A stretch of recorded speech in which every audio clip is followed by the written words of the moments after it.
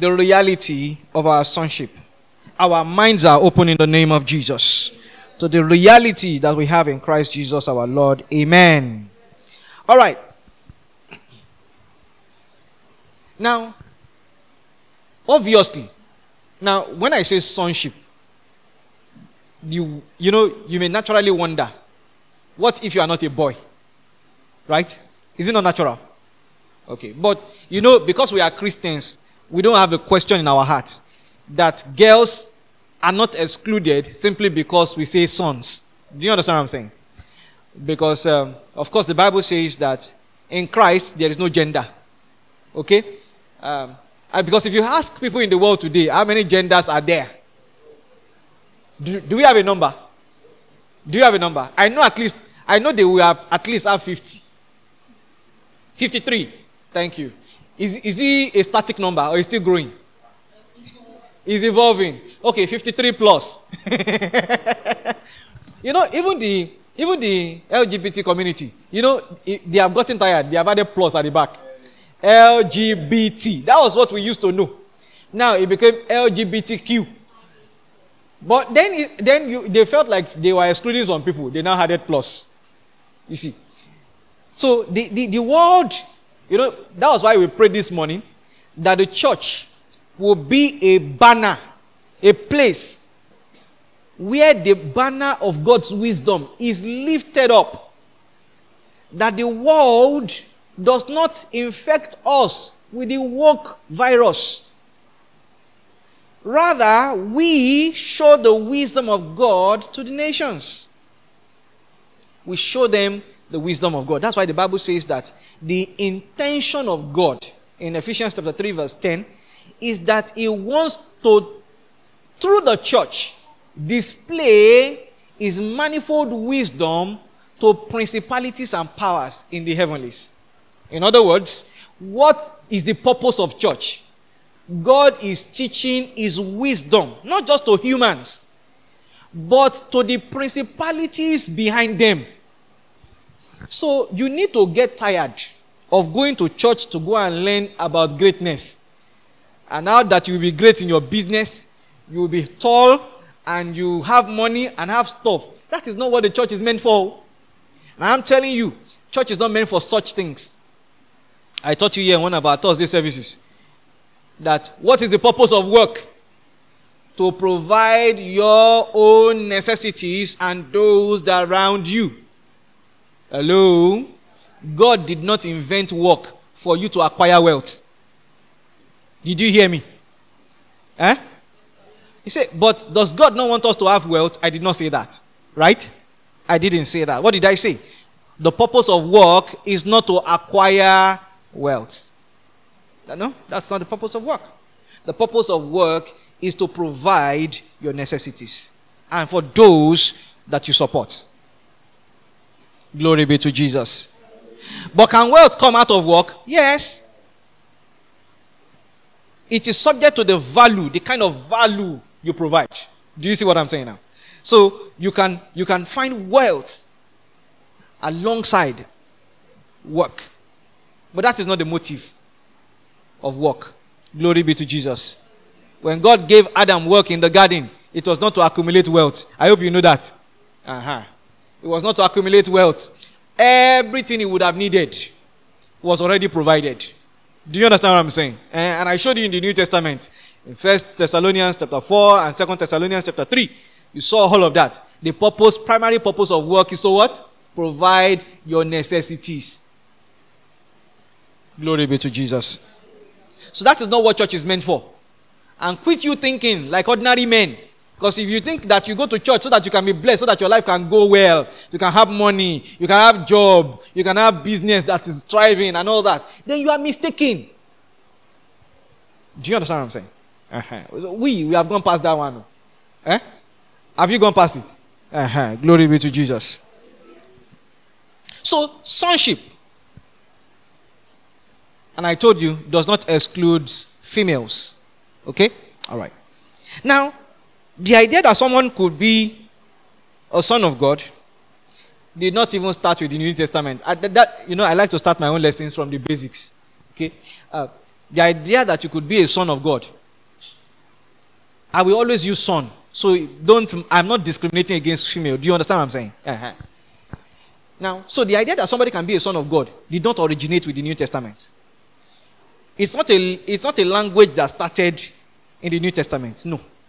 It started as far back in the very origins of creation. And I want to show you examples of that. The first time the, the idea of the Son of God was communicated in the Bible was in Genesis chapter 6. You, so you have to open your Bible. And like we always do, you will read some of them. So you have to open your Bible. And if you don't want me to burn time, you have to do it fast. So that I'm not waiting for you all the time. All right. Genesis chapter 6. Are you there now?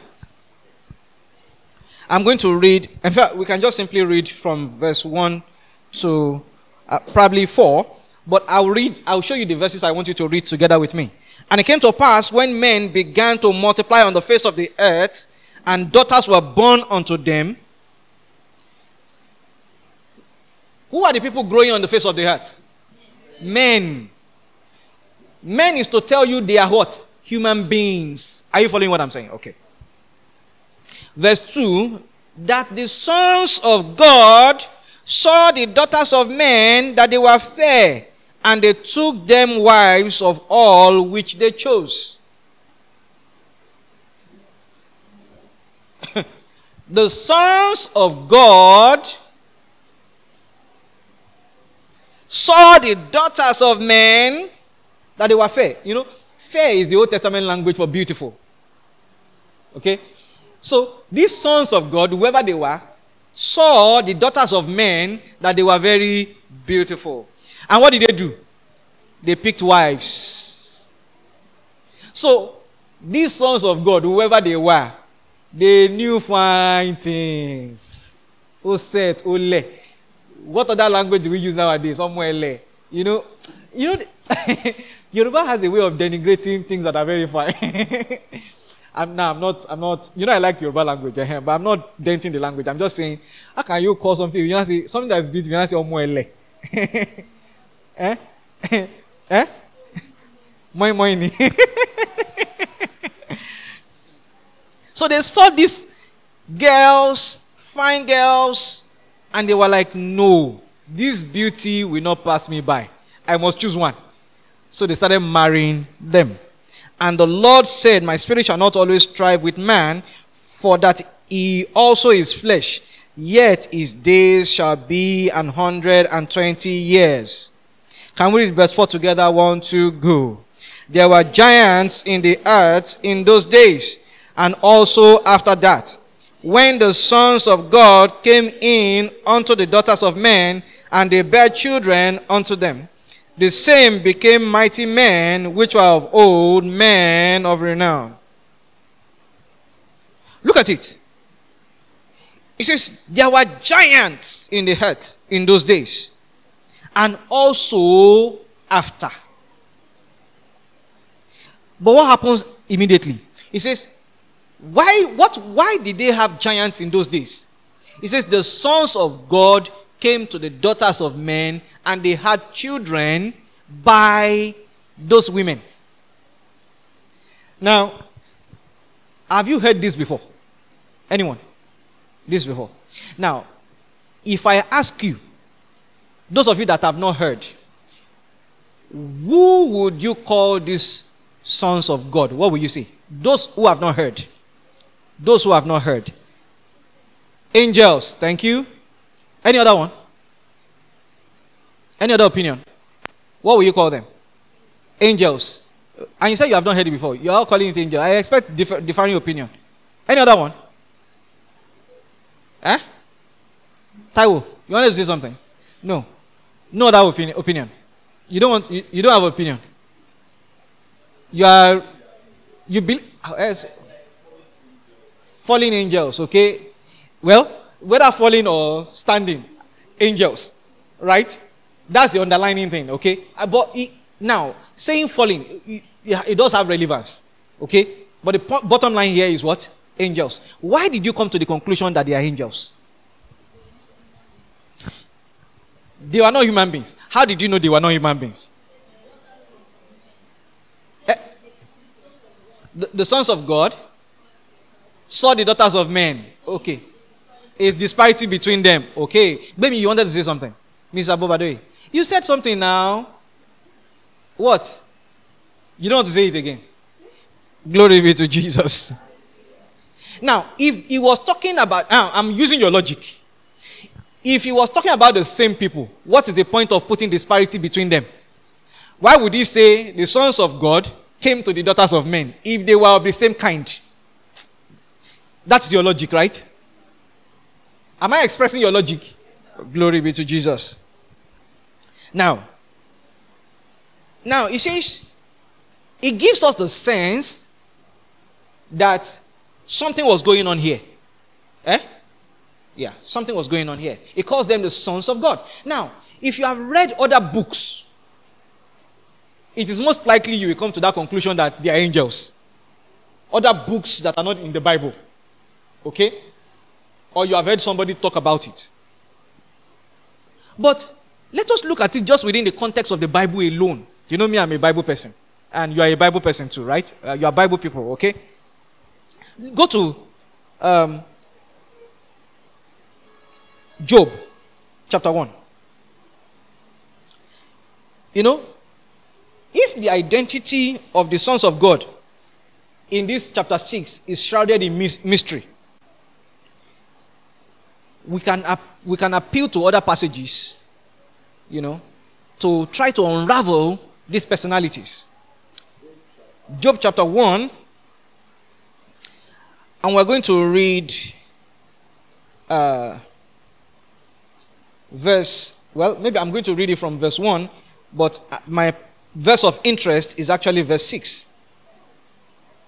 My verse of interest is 6. There was a man in the land of Uz whose name was Job. And that man was perfect and upright, and one that feared God and eschewed evil. And there were born unto him seven sons and three daughters. That's ten children. His substance was also 7,000 sheep, and 3,000 camels, and 5,000 yoke of oxen, and 500 she asses, and a very great household so that this man was the greatest of all the men of the east. Said Job in his time was the greatest. So this was their Forbes list of their time. Glory be to Jesus. How many of you have seen Forbes list before? Do, do you read the reports? Or you just read the list? If you read the reports, they will tell you how they came to the valuation of who they call the richest man in the world, right? They will show you how they came to the conclusion that is the richest man in the world. So, for this writer to conclude that he was the greatest of the men from the east, he gave us a list of his assets. Verse 4 And his sons went and feasted in their houses, everyone his day and sent and called for their three sisters to eat and to drink with them. And it was so, when the days of their feasting were gone, or gone about, that Job sent and sanctified them, and rose up early in the morning and offered burnt offerings according to the number of them, or of them all. For Job said, It may be that my sons have sinned and cursed God in their hearts. Thus did Job continually.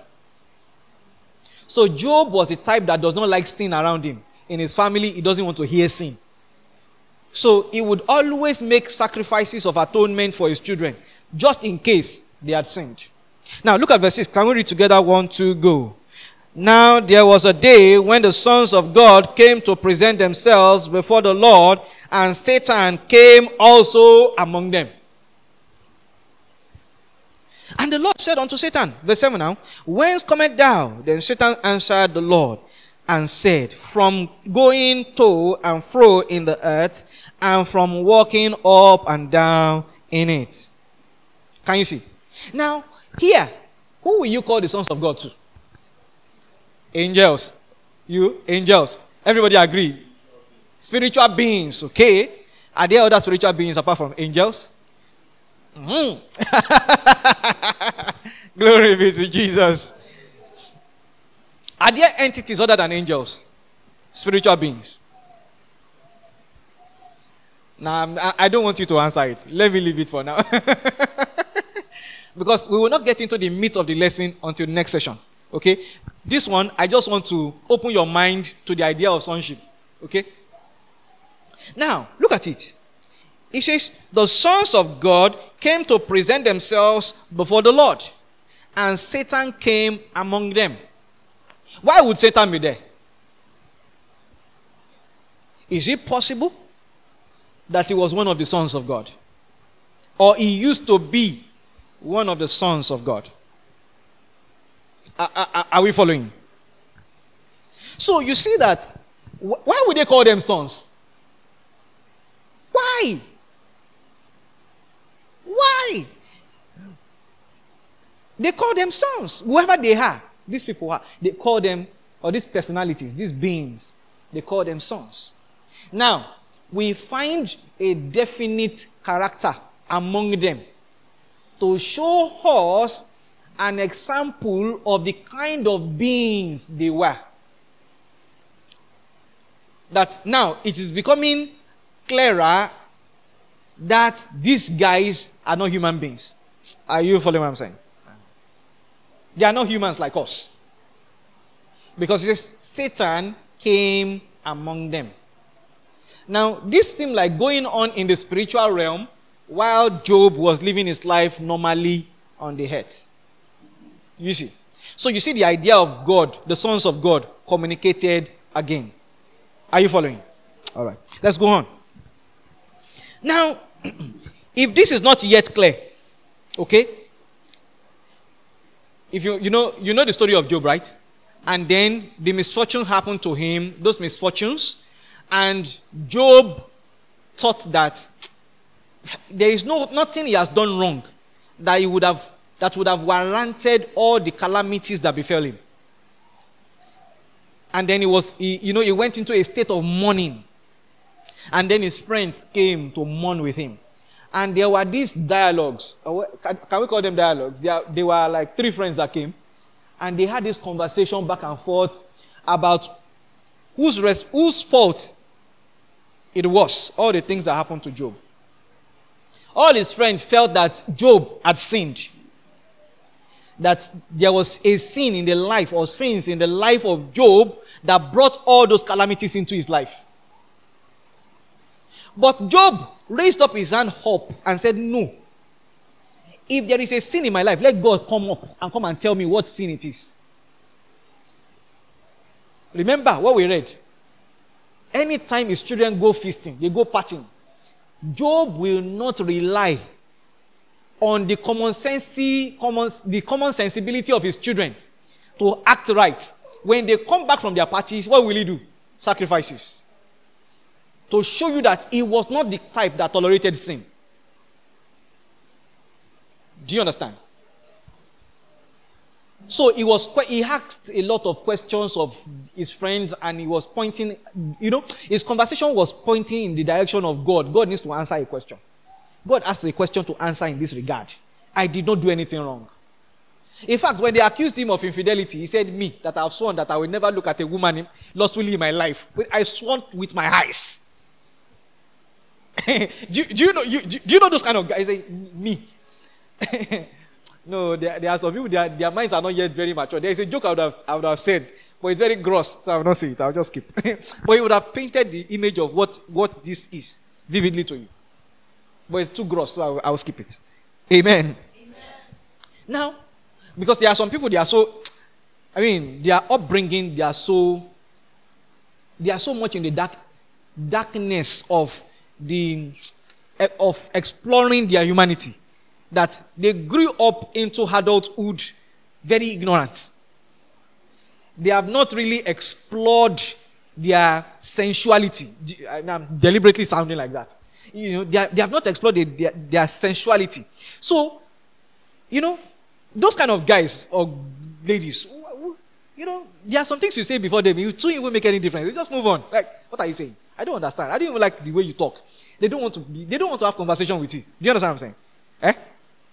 Even if you don't understand, leave it like that. I just anyways. So that Job was that righteousness conscious, of course, self-righteous. Okay? Very self-righteous. Because he never really looked at the righteousness that God provided. Of course, too, you must also understand that maybe that was the extent of the revelation that he had. Okay, so he's not like blaming Job for being like this, okay? But when God eventually showed up, God did. God showed up and told him, I'm going to come and I'm going to answer your questions, Job.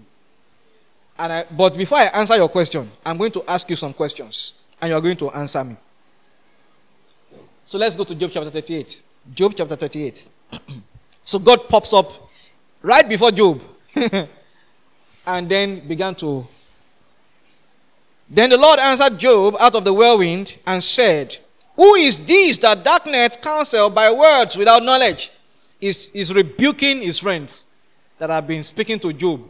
Says, they are they are darkening counsel. He says they are speaking words without knowledge. You know, people can be using words and there's no knowledge in it. Hello? People can be using words and the Bible says, God says there is no knowledge in it. No knowledge. Get up now thy loins like a man, for I will demand of thee an answer. I will demand of thee and answer thou me. Verse 4 Where was thou when I laid the foundations of the earth? Declare if thou hast understanding. Uh huh. You are challenging God. God says, Can you tell me if you were there when I laid the foundations of the earth? Can you, t- can you describe to me how I did it? Can you describe to me how I laid the foundations of the earth? Look at verse 5. Who hath laid the measures thereof? If thou knowest, or who has stretched the line upon it? Whereupon are the foundations thereof fastened? That is, where is the foundation of the heart attached to? You know, this house now is attached to the ground. But the earth itself, where is it attached to? You know, it's just a planet floating around, right? Science helps us to know that today, right? Floating around. But nothing is holding it to the ground. It's not attached to any ground. And, you know, storm has not come one day to blow it away, of course. I don't know if you get what I'm saying. Can we read verse 7 together? One, two, go. When the morning stars sang together, and all the sons of God shouted for joy. So, what is God describing here? If you continue to read it, what's he describing? The story of creation. The story of creation. But strangely, in the middle of this story, it talks about the sons of God again. He said, The morning stars sang together, and all the sons of God shouted for joy. Now, we cannot build doctrine on one verse of the Bible, right? You know that. But what this seems to suggest is that these personalities, these beings, were present before the creation of humankind. Are you following what I'm saying? Because he's describing the creation of the earth. And then he's already talking about the sons of God singing together and shouting for joy. Do you see? So you always find this expression uh, in the Old Testament describing the sons of God. In fact, I jumped over Job chapter 2, verse 1. There was a second meeting when God conveyed, God convened a meeting, convened a meeting, and then they came again. And Satan was in their midst again. That is in Job chapter 2, verse 1. In addition to the one we read in Job chapter 1, verse 6. You see that now? So these sons of God have, have always been around. They were referred to by biblical writers as sons of God. So if you bring, if you just for a moment bring it into the New Testament and you hear the Son of God, it should not be strange. Are you following what I'm saying? Because, you know, there are people who build their religion on the fact that God does not have a son. Simply because they want to attack the deity of Jesus. I don't know if you get what I'm saying. Uh-huh. Because they want to attack the deity of Jesus, they just say God, they don't want to hear it. God does not have a son. But the truth is that Jesus was not the first person biblical writers deemed the Son of God. I don't know if you get it. Now, the level of sonship may differ, but he was not the first one they called the Son of God. There were other spiritual entities that were regarded by biblical writers as sons of God.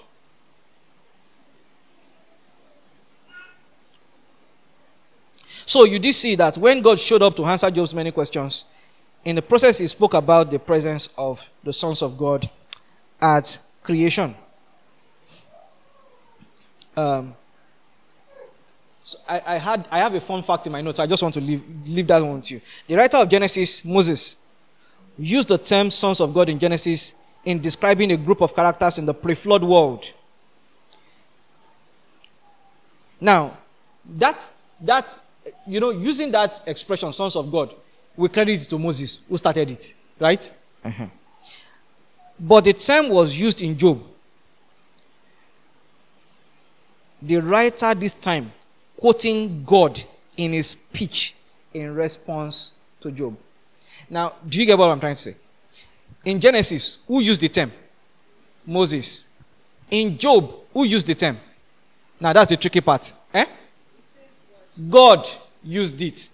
Even though the writer quoted God verbatim. Do you understand what I'm saying now? Uh-huh. It wasn't the writer that wrote it that described them as the sons of God.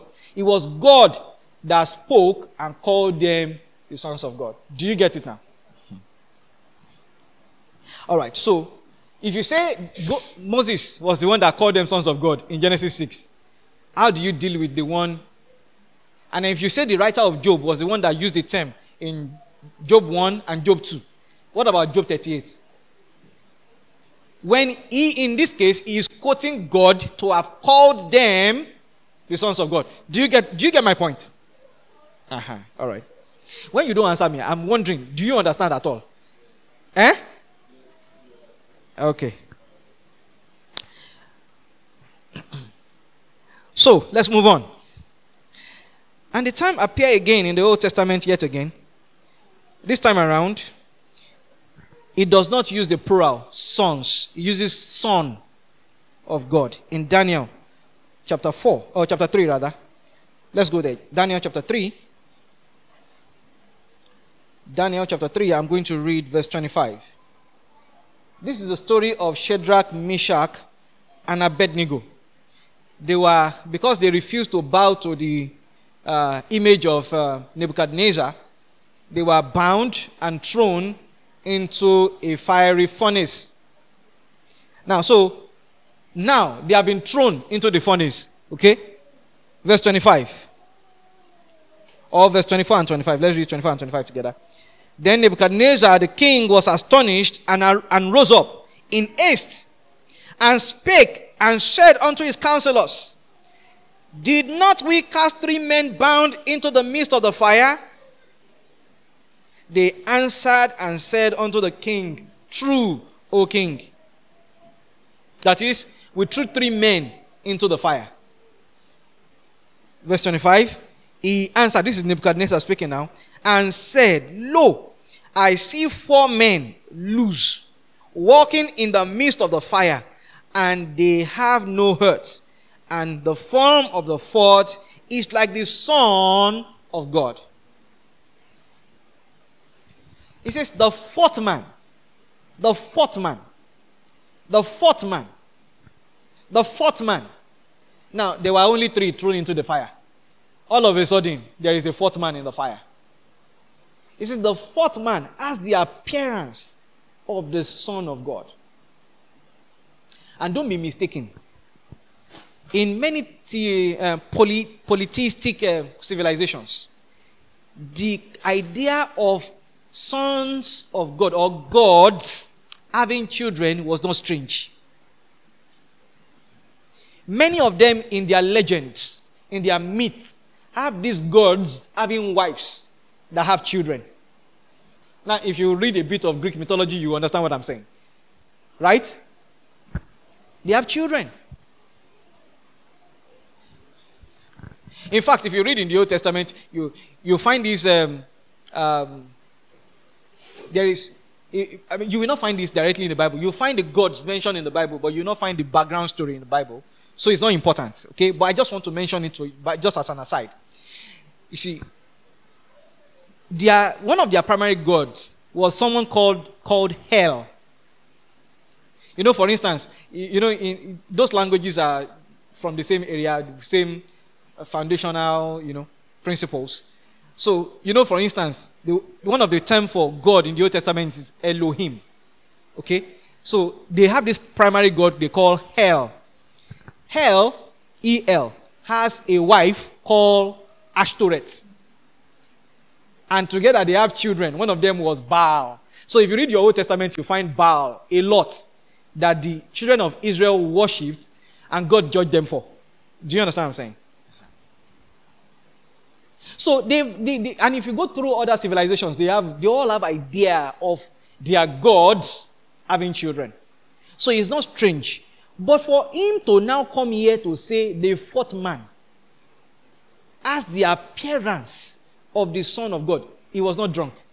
I hope you know he was not drunk. Uh-huh. He was not drunk. He was sober. He was sober. And here, it is singular because there was only one extra person in the fire. There were three that were thrown into the fire, but how many did he find in the fire? Four. So he is only accounting for just one person. So he says, the Son of God.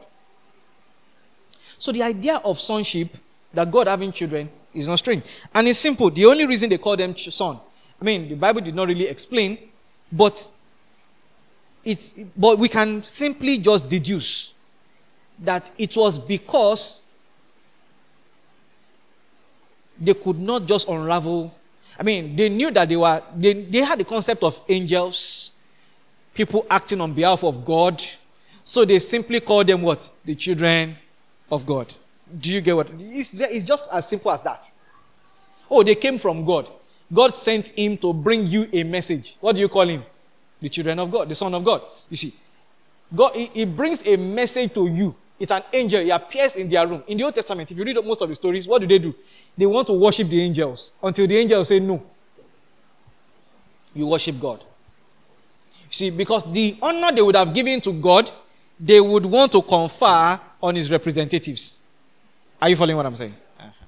So, sons of God are not an invention, or is not an invention of the New Testament.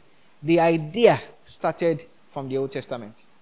So don't feel, don't feel it strange that, or don't feel challenged. If somebody, you know, wants to attack the deity of Christ, the sonship of Christ, that how come, Christ, how, how come you say Christ is the Son of God?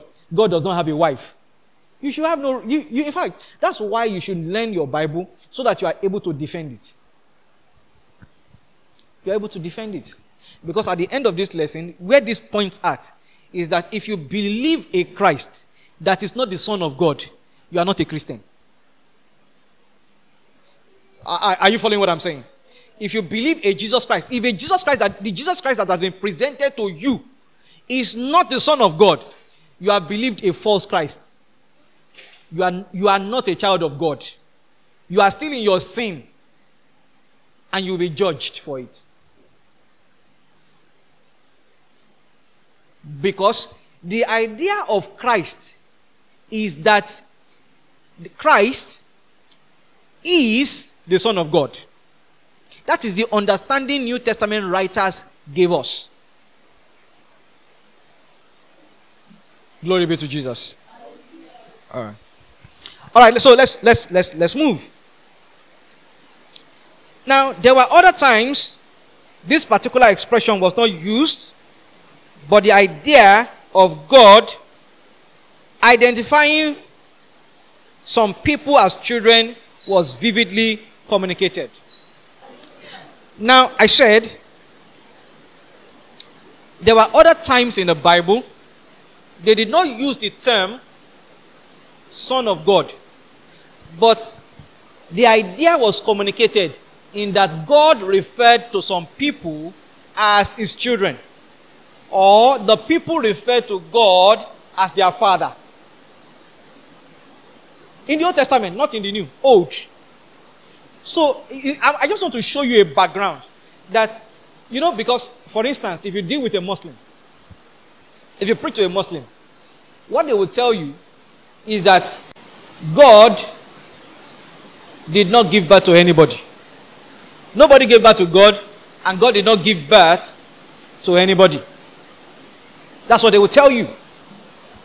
So they, they are attacking, what they are doing is they are attacking the deity of Christ.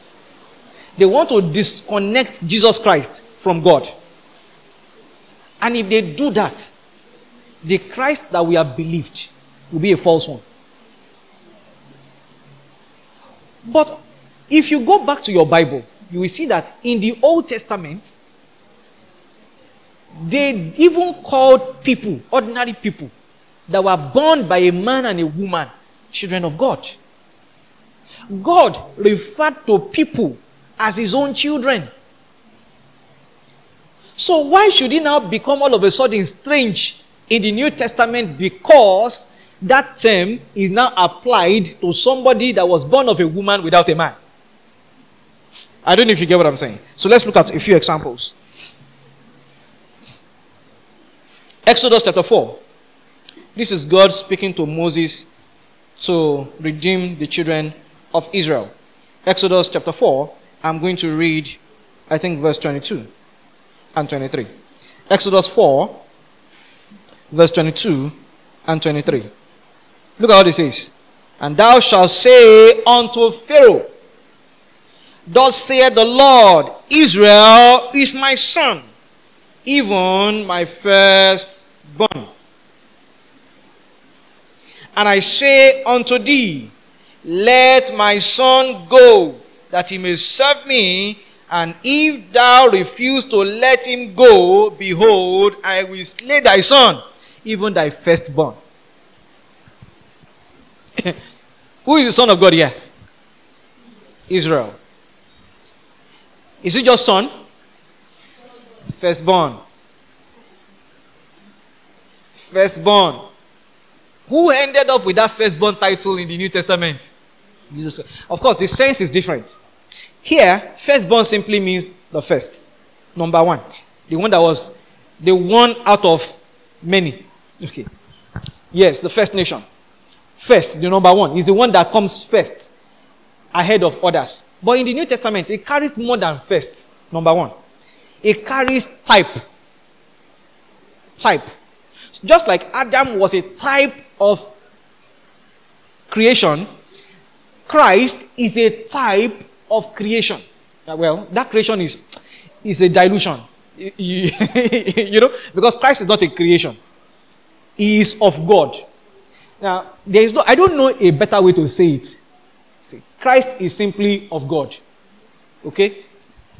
It's just like when you find, in the, the Bible says, in the beginning, God created the heavens and the earth. And the earth was without form and void. But in verse 2, he says, the Spirit of God over the, over the surface of the deep. Why did he introduce the Spirit of God in verse 2? Why not the same God over, over the surface of the deep? I don't know if you get what I'm saying. These are things you can just look at and say, ah, could make sense now. Why will he change the terminology? Why did he move from verse 1, God created, verse 2, the Spirit of God? He could have stayed with God, right? Now, is that spirit different from God? And it's the same way if God would do anything on the earth, will he go there? Will he go there? Will he get down from heaven and go there? How will he do it? By his spirit. Do you see that now? So you, you need to understand the way the Bible writers speak, communicate the idea of God. You see. So they, and they use these terms interchangeably. Sometimes they will say God. Other times they will say the Spirit of God. You see that now? Does it diminish the person of God? No. All right. So it's the same thing when you say uh, Christ. He is of God. That's why he said, I am from the bosom of the Father. Because there is no better way to exp- there is no better way to express it. You see. Because the relationship they have is not, is not that you can divide them. You can't. And the only form of um, the only form of the only form of separation. Now, you know, I'm speaking like a human being now. I'm speaking human language. Because the only form of separation you can have between God and Jesus Christ is that Jesus Christ became a man. Do you understand what I'm saying? Now, if he is not a man, he will be no different from God. Do you get what I'm saying? Uh-huh.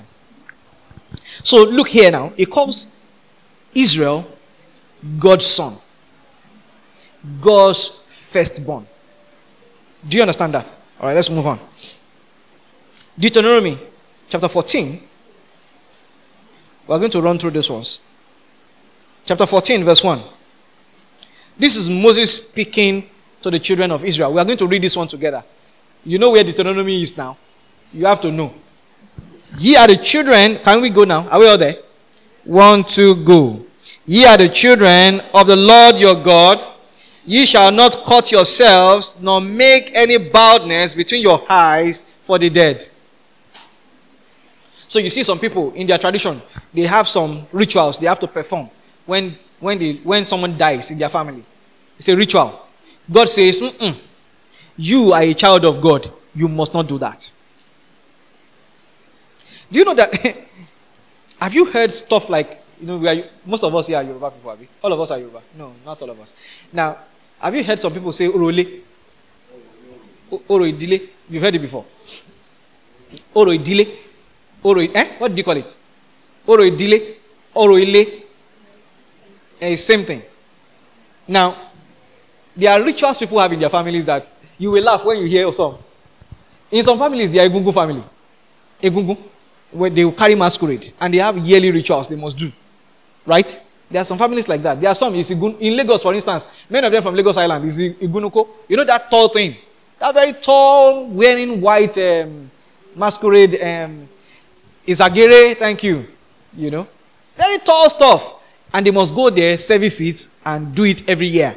You see, so people have stuff they do in their family. In, in, fact, there are some, they will tell you that in their family, they don't eat any draw soup. Have you heard stuff like that before? They don't eat any draw soup. Me, I don't, I don't like draw soup. Oh. It's just because I don't like it. Uh, I usually don't eat it uh, until my, you know, if, uh, when you now when you're married, eh, you know, there are some things you do for love. You understand what I'm saying? No, ah, anything my wife say, ah, you don't tell your wife it's not delicious. You are in soup. Even if it's not sweet, you eat it like that. it's funny. But I, I you know, I, I abandoned eating draw stuff for a very, very long time. You know, but my wife likes to eat it. So what she typically do is that she will put vegetable in the draw soup so that I can eat it. and she will say it is weird. So she does not like to eat that with me. So she will make her own and separate it and put vegetable in mine. Because the idea of eating something that is that drawy, I don't like it. but it's not orally. I just don't like it. Do you see that now? I just don't like it. So, but people have family traditions. You know, in some cultures, yam is a big deal. And nobody will eat their yam or harvest their yam until the new yam festival. Abi? East people. They do it now. So many traditions that people have. So it's just like that. They cut themselves for the dead. All these rituals, Moses told the children of Israel, never, ever do them because you are the children of God. Do you see that? Why would they not do it? They are children of God. So I don't expect you to go and say you are doing Oruli. You know, when we were growing up, it was very common. And the way people participated, Christians, I'm talking about Christians, I'm talking to you as Christians. The way Christians participated is that they will not go for the festival, but they will send money. They will now say, ah, well, but the truth is that you put your money where your mouth is. Do you get it? You put your money where my, my I heard that my grandfather, in his days, masquerade dare not pass by, pass through the front of his house. When they are going for their procession, they will bypass his house. They will go and use the back road, back road and then cross out. They will not pass the front of his house. He made his stance known. No. I know the world is more tolerant nowadays, though. But then, you can live your life without participating in this kind of rituals. Do you understand? Why would you not participate in the rituals? Because you are the children of God. Do you get it now? That was exactly what Moses to- taught these people. Do you does it go back to back with what we learn in the New Testament? Eh? You see, why would Paul teach in First Corinthians that you must not eat things sacrificed to idols? You know, we have the liberty to eat anything we want. The Bible says it is sanctified by the word of God and prayer. That's what the Bible says.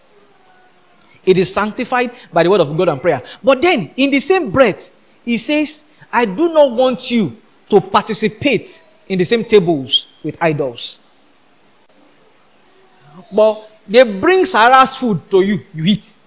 You say, ah. But the, the Bible that says um, food does not commend us to God. Whether if we eat, whether if we eat, are we? The, uh, how, how is that? Food does not commend us to God. Whether we eat, are we the better, or if we eat not, are we the worse? Now, that does not now give you the liberty to eat food sacrificed to idol because it's the same Bible that now says that I don't want you to participate in food sacrificed to idols. Do you understand? So you cannot use that as liberty to eat Sarah. You know what they call Sarah now? I don't know what they call what, what we call it in, in English. What we call Sarah in English? she said sacrifice. Eh? You know, and that's what it is, sacrifice. But you ate it. Now, what makes it a sacrifice? It has been devoted to an idol. But you, you just carry it and began to eat it. Ah, ah. No, I trust the, I trust the best of you. You don't eat those kind of stuff. What are you You go you go on the road. You now saw this calabash. You now start with it and you started eating it. Eh? Ẹ̀kọ àti mọ́ínmọ́ín. You now sit down with it. You draw it close and you begin to eat. Or ẹ̀kọ and palm oil. Eh? You know what they call ẹ̀kọ? Have you seen it before? pap the dry one you know inside or ekuru yes you, call it you, you, what's ekuru you ekuru is ekuru you now take ekuru you now put my money by the side and you eat. You see? No it's the same. The difference is that they brought this one to your house. The other one they put it on the street. That's, that's, the, that's the only difference. That's the only difference. That's the only difference. You cannot, you are not of that stock. Why? Because you are a child of God. Do you understand? I said, but I have Muslims in my family now. Ah, okay. Oh. Are you not a pilgrim and stranger in this world? Eh? If they know you, you wear your identity like a garment. Nobody will bring it to you. I hope you know. Gone are those days when, when people are distributing those kind of stuff during their annual sacrifices. They will bypass your house. They won't bring it. Say, ah, no, I want a Christian anymore. But there are other Christians that will take it. Say, ah, those ones, they are Christians. You know. But others will take it. I remember there was a guy that, a consultant that did some stuff for my office, some not so clean stuff. Many years, many, many years ago. This guy, after he had finished the work, he had delivered it. Out of the proceeds that he got from the business, came to say thank you to everybody in the office. So he was sharing part of the largesse to everyone that knew about the transaction. So he, he was going office to office. I, I, I heard him going from one office to other. And, and I saw him enter, enter soon. So he came into mine also. I don't know if I was the last person. And then he came to offer me money, obviously. And I told him that no, I don't want it. That uh, no, he can keep it. That uh, I don't just I, I just did my job, and he has done his. He was compensated for his job. There is no reason why he should give me out of his money.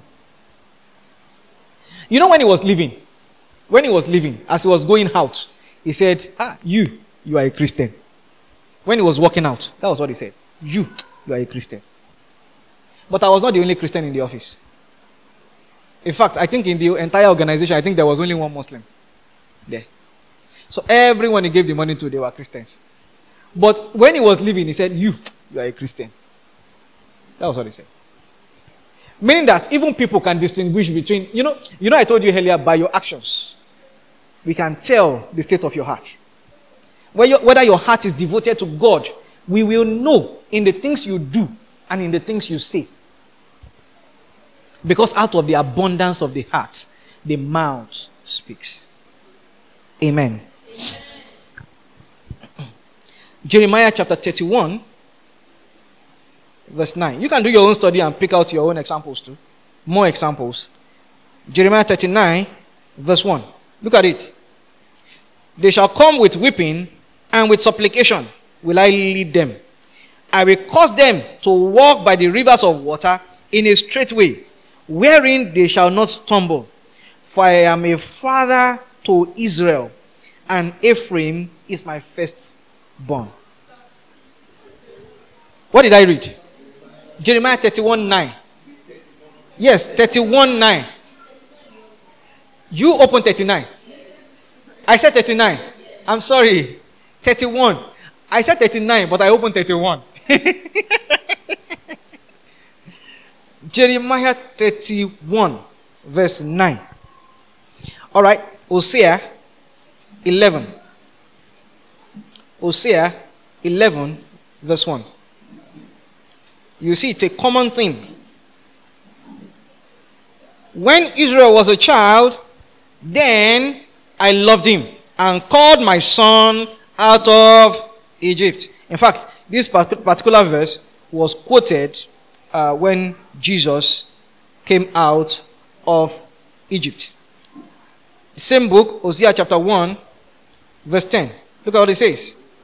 Ye, yet, ye, yet the number of the children of Israel shall be as the sand of the sea, which cannot be measured nor numbered.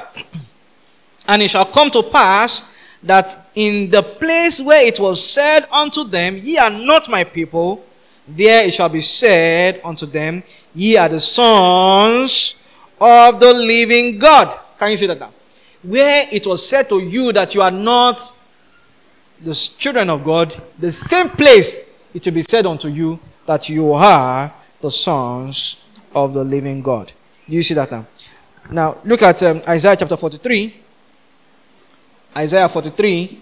I am going to read verse 6 and 7. Isaiah 43, verse 6 and 7. I will say to the north, Give up, and to the south, Keep not back. Bring my sons from afar and my daughters from the hands of the earth. Even everyone that is called by my name, for I have created him for my glory. I have formed him. Yeah, I have made him. You see that? This is God speaking. He says, I will call them forth from every side they are. They are. You see that? I will call them forth. All right.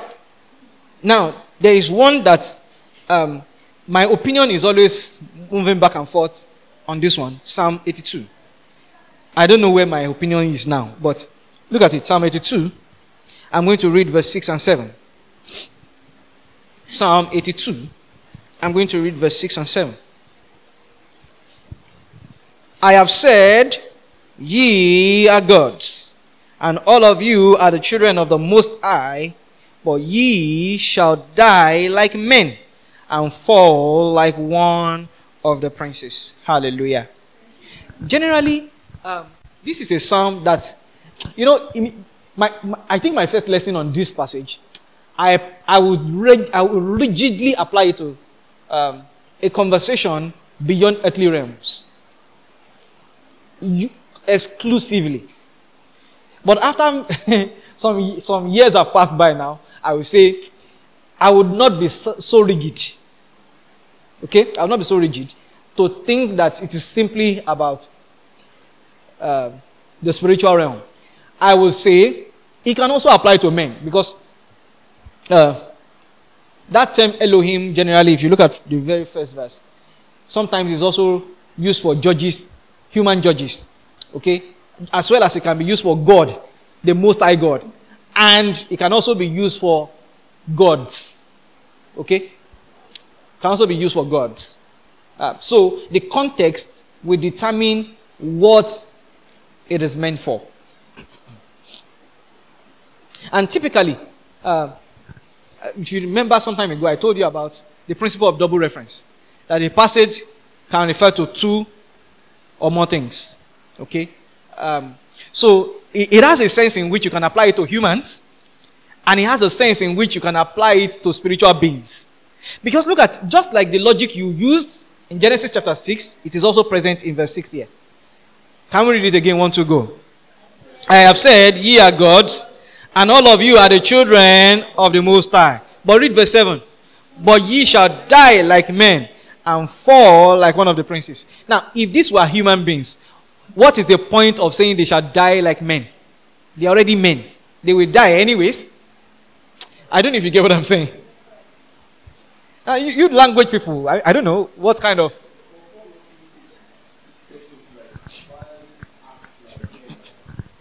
Yes, true. In fact, Jesus quoted this directly. Jesus quoted this directly, you know. So, so, and when it, when Jesus quoted it, Jesus pointed it directly at men. He was speaking to men. He pointed it at them. So, um, my mind is always going back and forth on it. But the point here is this: he, there are other people, people that are called the children of God, whether spiritual or natural. People are called the children of God. Do you get the point now? Okay. And in fact, on the side of the people, they also acknowledged God as Father. So there were other times that people acknowledged God as Father. So let's take two examples one in the Old Testament and one in the New. In the Old Testament, let's go to Isaiah. Isaiah chapter 63, verse 16. Isaiah 63, verse 16. Did I say 16? Yes, 16. Doubtless, thou art our father. Though Abraham be ignorant of us, and Israel acknowledge us not, thou, O Lord, art our father, our Redeemer, thy name is from everlasting. Do you see that? And in the New Testament, John, so this is the people speaking of God. Look at John chapter 8, verse 41 and 42. John chapter 8, verse 41 and 42. Ye do the deeds of your father. Can you see? This is Jesus speaking. Ye did do did ye do the deeds of your father. Then said they unto him. So they are responding to Jesus.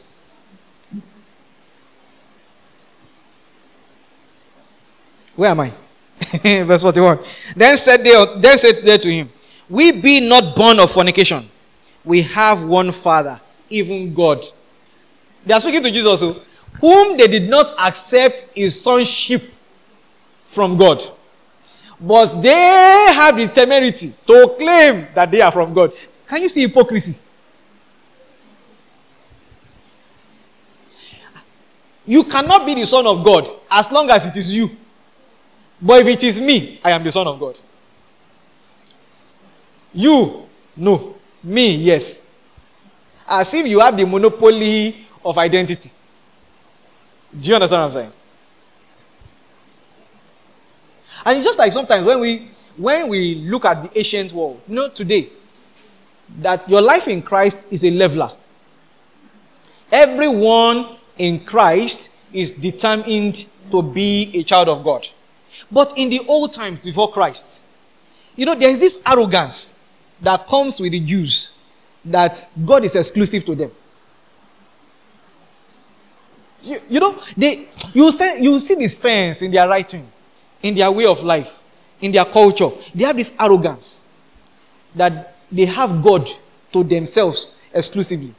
But I always ask that question where did Melchizedek get the idea of the Most High God? He wasn't a Jew. He wasn't a Jew. So where did he get the idea of God from? How come he knew God? And Abraham acknowledged his high standing before God by paying him a tithe. Do you see that now? So, and in fact, the priesthood of Christ in the New Testament, if you read in the Hebrews, is patterned after the priesthood of Melchizedek, a man who is not even a Jew. Do you see that now? Where did he get the knowledge of God? What about Jethro, the father in law of Moses? Where did he meet God? So you see, the idea of God came to the much of the much of the world through the Jews. But God is not an exclusive of the Jews. Are you following what I'm saying?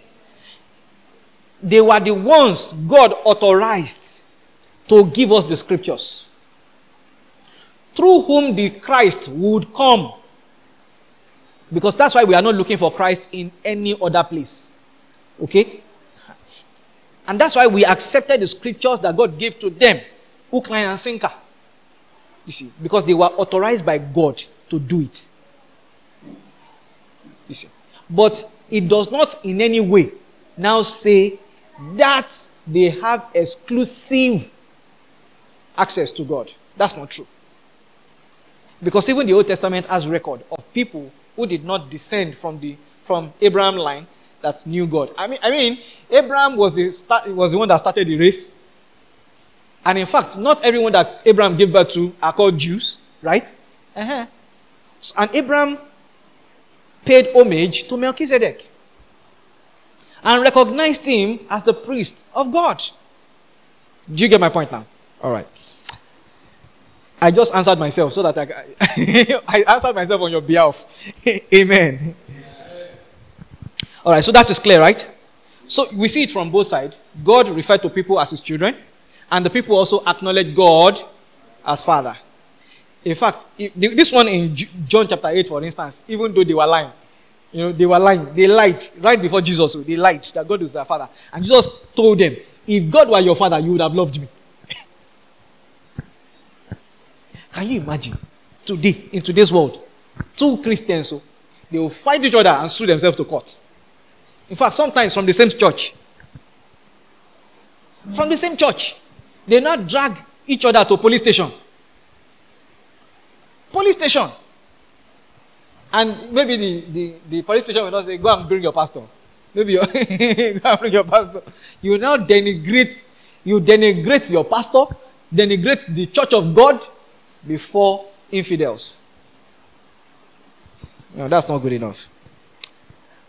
So it's, so it's not strange that God has children and that uh, people also acknowledge God as Father. So the idea of God having a son is, son is not strange at all.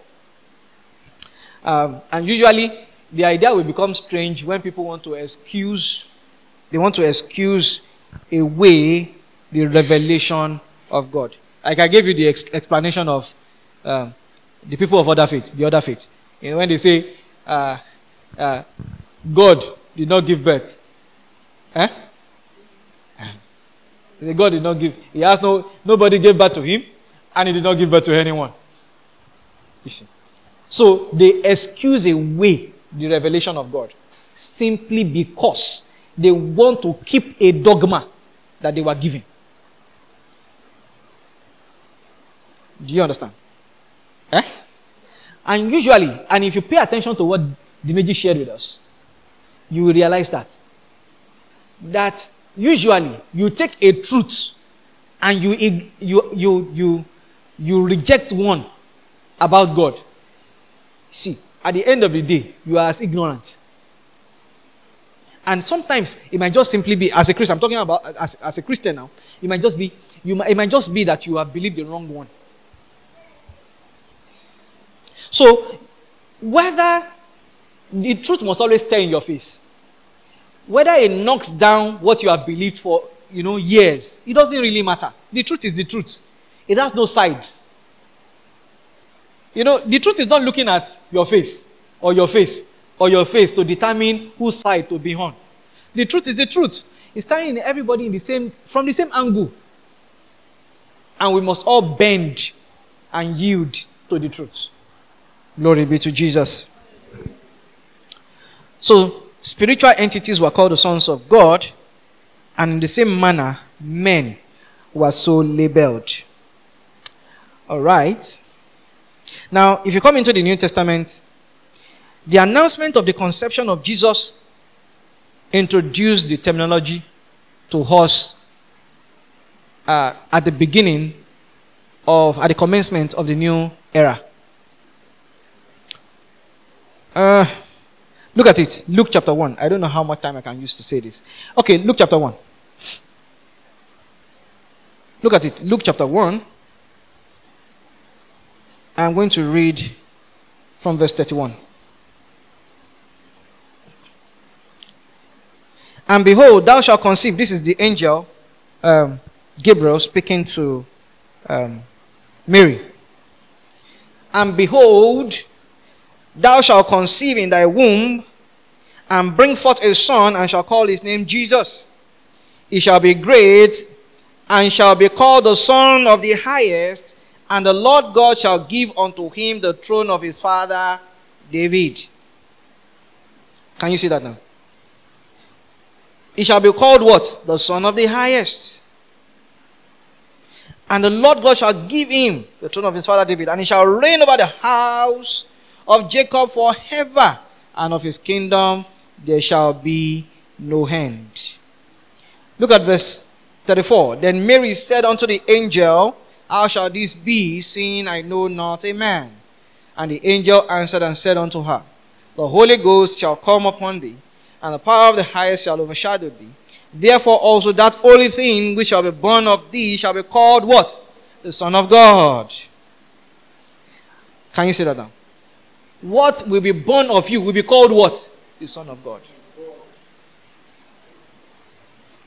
Now, this is specific to a person.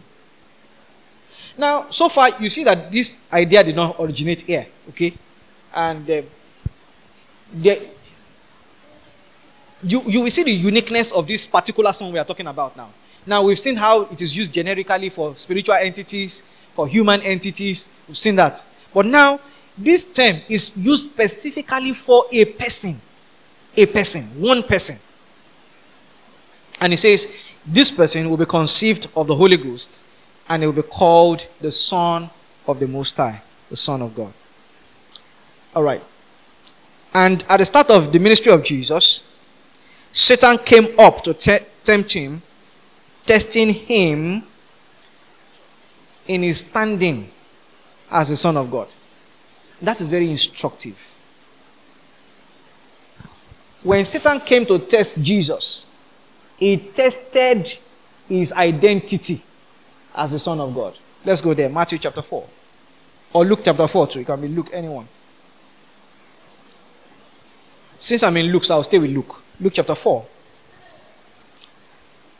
And Jesus, being full of the Holy Ghost, from verse 1, returned from Jordan and was led up, led by the Spirit into the wilderness, being 40 days tempted of the devil. And in those days he did eat nothing. And when they were ended, he afterward hungered. How many days was he tempted? Eh? So don't think because he was tempted, the temptation that was recorded were three. Meant he was tempted three days. He was tempted continually for how many days? 40 days. And now imagine that he had not eaten. You, you fasted. They just told you to fast till 6. By the time it is 12, your face has become pale. You are hungry. You are, you are hungry and angry. a double edged sword. Mark honey. Anyone that comes across your path at this point, you stab. Straight. They get a piercing of your hunger. woto, woto.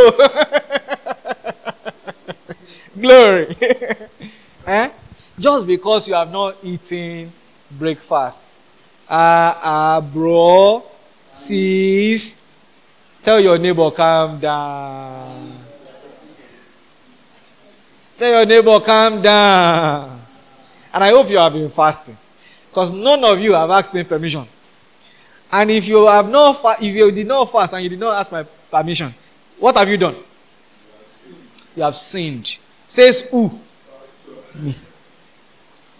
So if you if you don't fast and you did not tell me, you did not seek my permission not to fast. It is in this church, oh, in this one. You can go elsewhere and they tell you to not to fast. To disobey your pastor is uh, not a sin. Here, if you do that, it's a sin. Oh. I'm t- here, I'm telling you, it's a sin. So when I tell you to fast, what must you do? Fast. Okay. So it was Jesus did this one for 40 days. So was it legitimate to be hungry? Okay. Verse 3 And the devil said, said to, unto him, If thou be the Son of God, command this stone that it be made bread. What is he challenging? His sonship. If you are a son of God, command this stone to be turned to bread. And Jesus answered him, saying, It is written that man shall not live by bread alone, but by every word of God. See. And the devil will not stop. Verse 5 And the devil taketh him up into an high mountain, shewed him, taking him up into an high mountain, shewed him all the kingdoms of the world in a moment of time. And the devil said unto him, all this power will I give thee, and the glory of them, for it is delivered unto me, and to whomsoever I will give it. If thou therefore will worship me, all shall be thine. Hmm. and Jesus answered and said unto him, Get thee behind me, Satan. For it is written, Thou shalt worship the Lord thy God, and only him shalt thou serve. Now, how is he attacking his sonship here?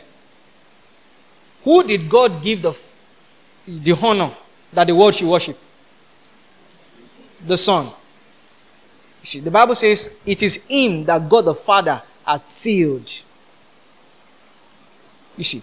But the devil says to the Son that should receive worship, Come and worship me, and I will give you the kingdoms of the world. What was Jesus bringing into the world? The kingdom of God. So the, Jesus wanted to establish the kingdom of God on the, on the earth, right?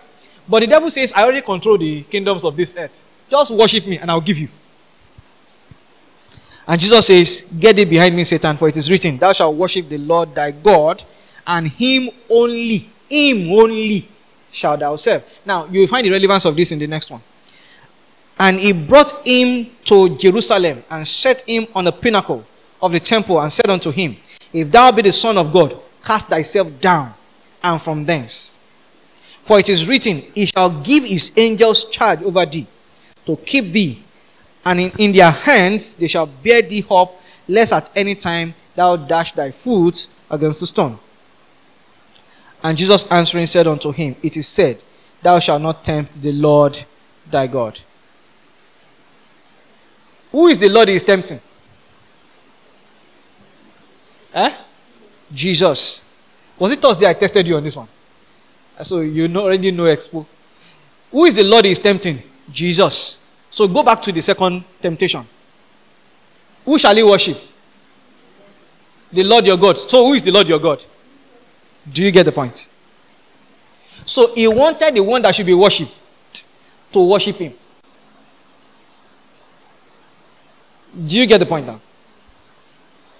He wanted Jesus to sacrifice his standing with God just to gain the world. What he would have gained by dying for it, he, want, he gave him a shortcut to it. How many times have you ruined opportunities simply because you took a shortcut? You just did you I mean of course you may just not know, but you want to you you just felt that you, if you do it this way, the direction God is taking you will take too long. You just want to go, you want to cut corners. And then you cut corners. Maybe you never know. You know, the alternative for gone. You see that now? But you see here, challenging is standing. If you see it in Matthew chapter 4, verse 1 to 11, it's the same story. Maybe Matthew will make more sense in terms of sonship. Um, hallelujah. All right. So I, I want you to understand this that I don't want to take it further from here. I will just leave it here. And then we'll continue in the next session. Maybe I'll make it three sessions instead of two so that I can cover the ground that I want to cover. But the point is this you see how that the idea of sonship is not novel to the New Testament.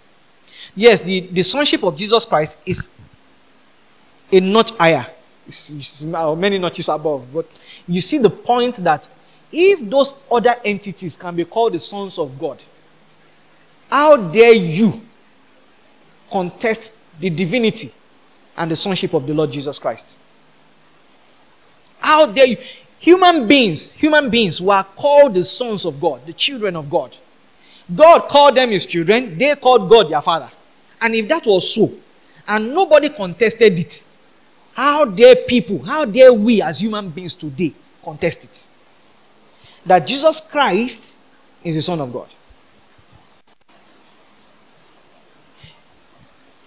Of course, my lesson is very long, but you see, if I will take you a bit forward to the end of this particular session of the lesson,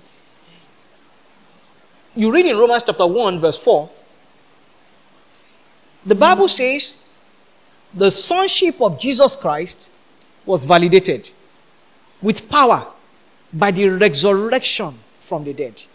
Now, of all the sonship that we have seen, the only one that got a proof that had validation of God Himself, that God put His seal on, was Jesus Christ.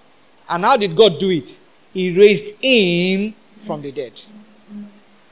So that's why you come to church every week, you hear about the resurrection of Jesus. The song that you sing talk about his sacrifice, his death, and his resurrection. Every time. Because I'm deliberately trying to build a consciousness inside you. Even the song of thanksgiving that we sang, what was it talking about? The sacrifice of Jesus. Because you have to build a mentality about Jesus Christ. Let's read it. Romans chapter 1, verse 4. Romans chapter 1, verse 4. Usually, if you read it from just verse 4, it doesn't, it doesn't make contextual sense.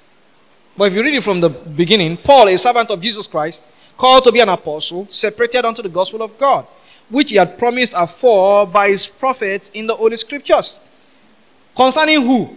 His son, Jesus Christ, our Lord, which was made of the seed of David according to the flesh. Verse 4, can we read together? One, two, go. And declared to be the Son of God with power, according to the Spirit of holiness, by the resurrection of the dead. How was he declared to be the Son of God? By the resurrection of the dead. So God proved his own, he validated his own. Now, if Jesus rose from the dead and died again, he would have been like any other man. Don't you think so?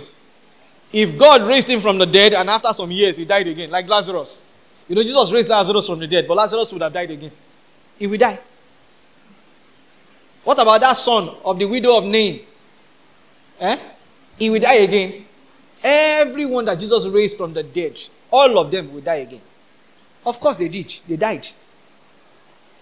But Jesus Christ, the Bible says when it was time for him to return to his father, he levitated out of the earth. Do you know what that means? He floated away. He did not die. And it was not missing. There was no notice, lost, missing person. They saw him. Let's read it. Romans, Acts chapter 1. See the validation of God. Verse 9. And when he had spoken these things, while they beheld, are you there? I want us to read it together. Acts chapter 1, verse 9.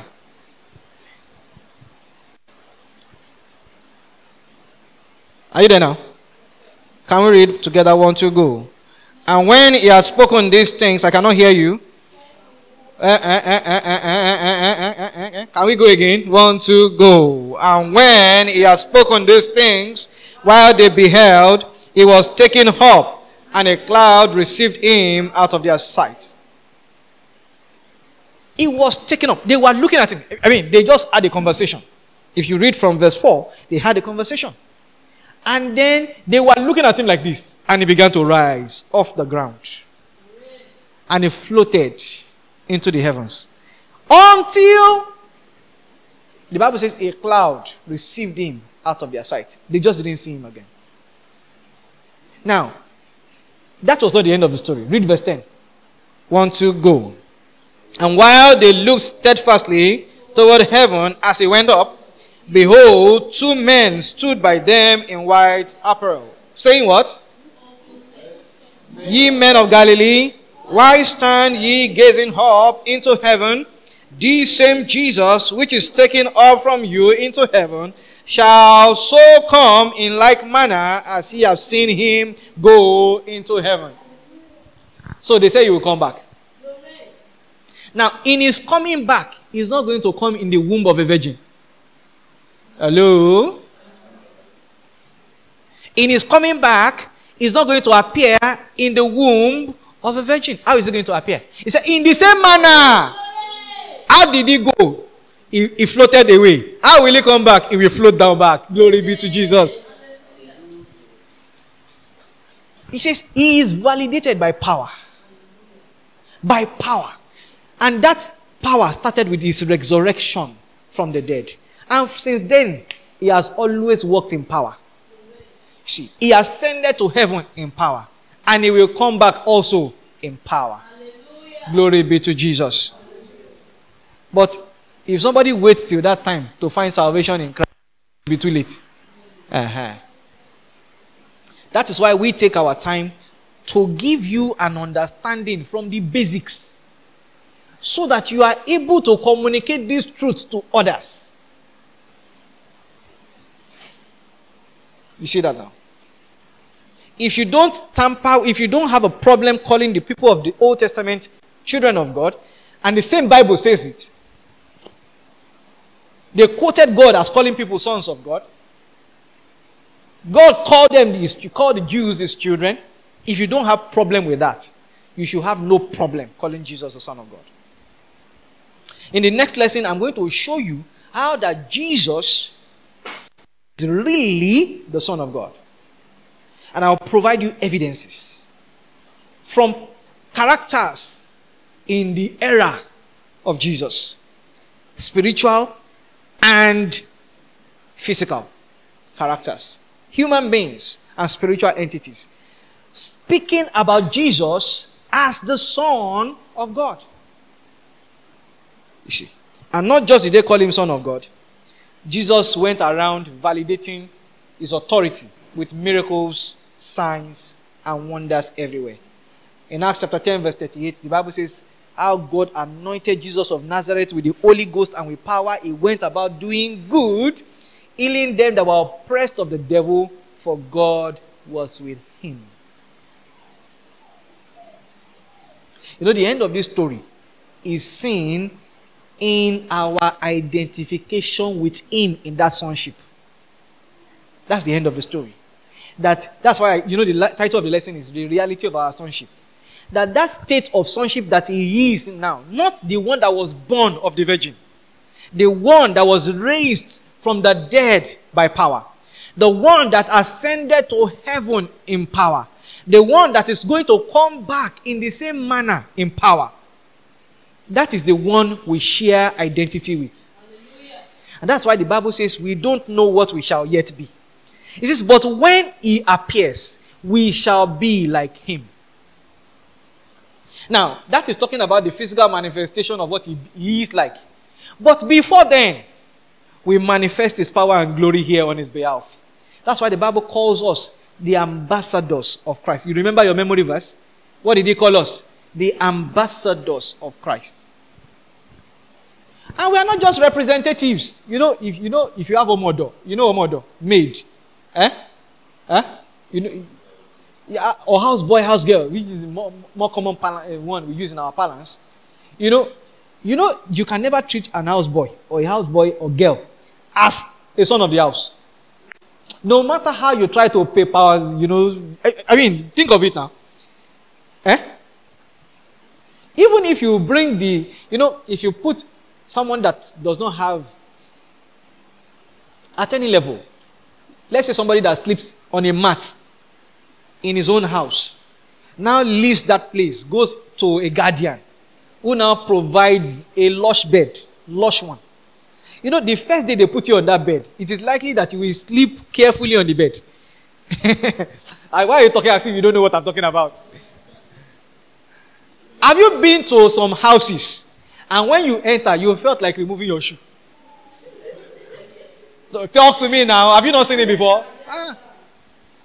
In fact, shame will catch you because you like. Let's say the first time you went there, you saw very beautiful place, and then you know where you are coming from. When you get to the park, you buy water, you wash your shoe, you wash it thoroughly because you don't want to carry the dirt into. There was a day I went to my, one. I went to visit an uncle with my with my family. We went there to visit him. You know, we're coming from mainland. Let, uh, let me just say mainland. It's not even mainland. We're coming from Ogun State. so we are driven through all sorts of debts.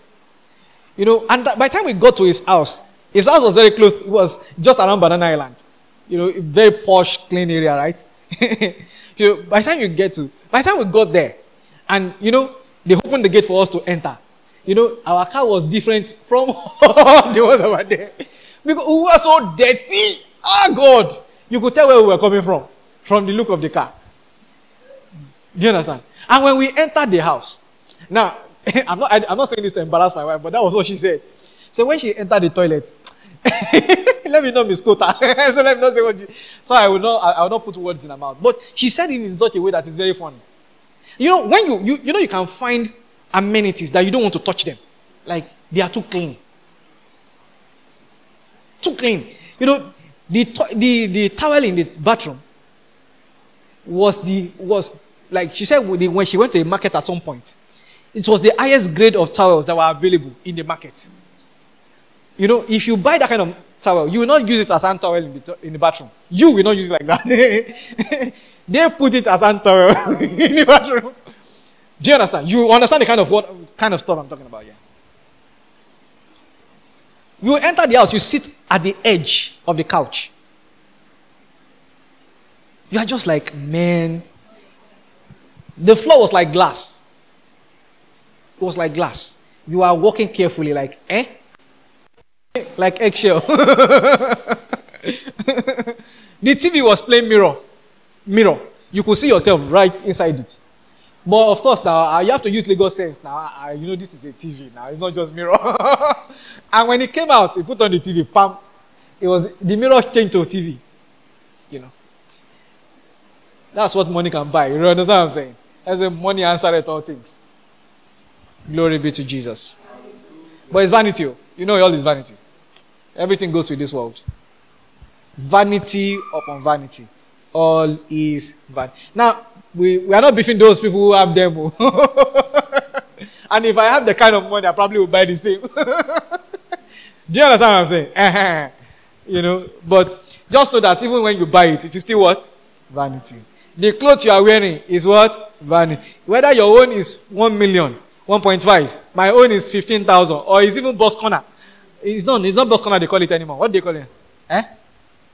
Thrift. Thrift. Whether your own is uh, you bought it from a boutique uh, or it's um, designer, and mine is thrift from thrift store. It doesn't really matter. Both are what? Vanity. But I want you to see everything in the light of Christ. You, I want you to see everything in the light of Christ. Look at things. Don't, don't even look at your present circumstances. Do you understand? Because these things don't define who you are. Because with or without these things, you are the Son of God, anyways. Glory be to Jesus. You know, rich Christians are the children of God, right? Poor Christians are the children of God. And God will not treat the rich ones better than the poor ones. I hope you understand what I'm saying. So you have to be confident about who you are in Christ Jesus. Stand up tall. You know, when I when I call you, beckon at you, come, come and speak. Do it confidently. Don't don't say, Pastor, you should have told me so I can dress well. What are, what are you talking about? What are you talking about? What are you talking about? I don't want to ever hear it in your own mouth. That pastor, you should have told me so that I would at least look better. No, how did you see me too? As as every day as anything. Do you understand what I'm saying? So there is no, there is, we are not impressing anybody. We are not here to impress anybody. We are just here to worship our Father. Amen. And we are all acceptable before God. Do you understand what I'm saying to you? Glory be to Jesus. Of course, if you can look very fine, look very fine, you know, right? Eh? But if you don't, if that is what you have, just be as comfortable in your skin as you are. Because God does not regard any man's person. Hallelujah. The only person God regards is Christ, and we are in Him. Amen. That's why the Bible says we are the righteousness of God in Him. Because if that in Him is not there, it's zero. Like Kayode said, zero. Zero. Amen. Glory be to Jesus. Father, we ask you that this reality becomes real to us in our daily walk with you. Our life honor your name. And we bear the glory of the man in Christ. In Jesus' precious name, we have prayed. Say amen.